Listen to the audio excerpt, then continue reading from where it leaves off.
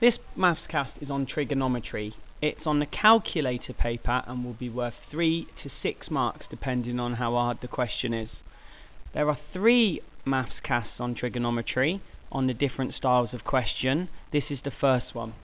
I recommend you do all three of the maths casts before you practice any of the questions. You need to know when and what type of question trigonometry will come up in. As you can see from the following two triangles, they are both right angle.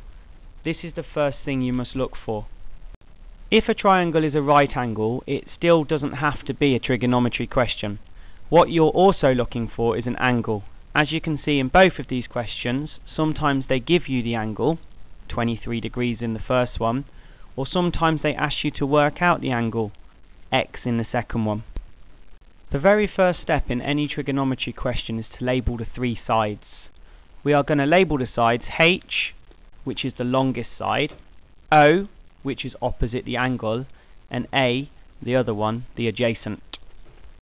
The longest side, h, is always the one the right angle is pointing at.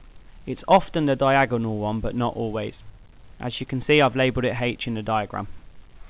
The next angle you label is O, the opposite. This is the one the angle's pointing at. I've shown which one the angle's pointing at with a red arrow on the diagram. The final side is labelled A. Now you need to have a go. Label the sides O, A and H in these four questions. The following slide will have the answers. Did you get them right? If not, have another go. Right, let's have a go at an exam question. Here you see a right angled triangle with an angle in, so we know it's a trigonometry question.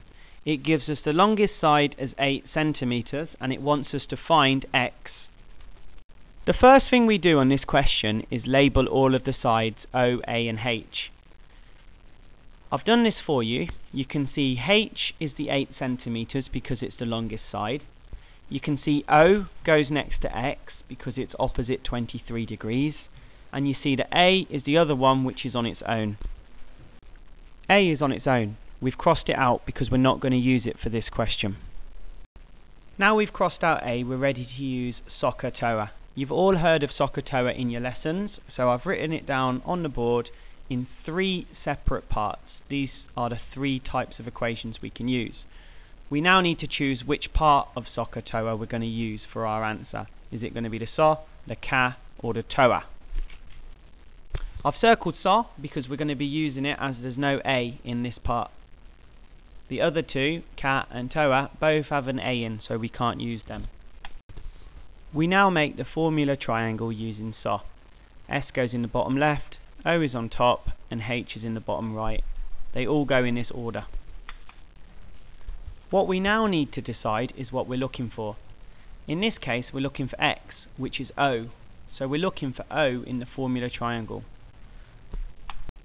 If we cover up O, it leaves us with S times H. This is the formula we're going to use. Write down the formula, O equals S times H, and we're now going to plug in the numbers.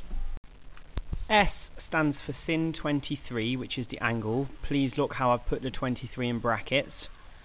H is 8. You can see H is 8 because that's what it's next to in your triangle. You type this in exactly as I've written it on a calculator and you will get your answer. The answer is 3.1. I've rounded this to one decimal place, which the question will normally ask you to do. We've now completed one example of a trigonometry question. There's two more examples we need to go through. Here are four similar questions to what we've learnt in this maths cast. Have a go at them and then take them to your teacher to check the answer.